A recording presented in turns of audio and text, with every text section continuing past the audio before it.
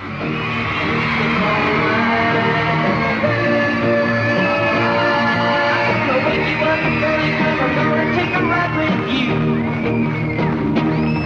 going down to the Honda shop, I'll tell you what we're gonna do.